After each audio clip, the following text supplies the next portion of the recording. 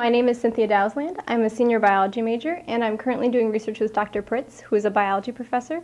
Um, we're studying the physiological effects of soy milk on um, specifically on rats. We're looking at the effects of soy on their learning and memory abilities. We settled on soy milk because they had there were a lot of articles about both soy having positive effects and negative effects. For instance, there were a lot of claims that soy would like cure cancer it would, uh, you know, improve memory. But there were also some articles that said that soy increased the possibility of like mammary tumors. You know, it had all sorts of terrible effects. It would, you know, decrease testosterone levels. So we really wanted to look at soy milk specifically because there weren't a lot of research done on that.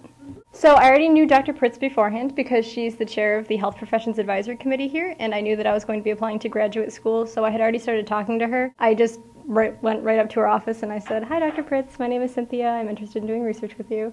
And she said, Okay. So we met, um, I think, three times a week last semester, every single week. And like, if I didn't understand something, she was more than willing to explain it to me. She was more than willing to kind of like lead me along into finding different things that I thought were interesting if I wanted to explore something more. So I think doing independent research as an undergraduate is a great experience. It kind of feels like a capstone project for me because it's incorporating everything that I've ever learned in every biology class, every chemistry class.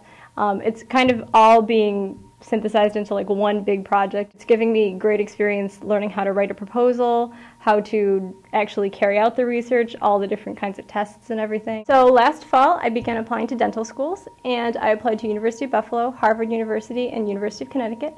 Um, at my interviews for all three schools I was asked about the research that I had done here at Le Moyne and they were really very impressed that at such a small liberal arts institution that I was having this wonderful science undergraduate research experience.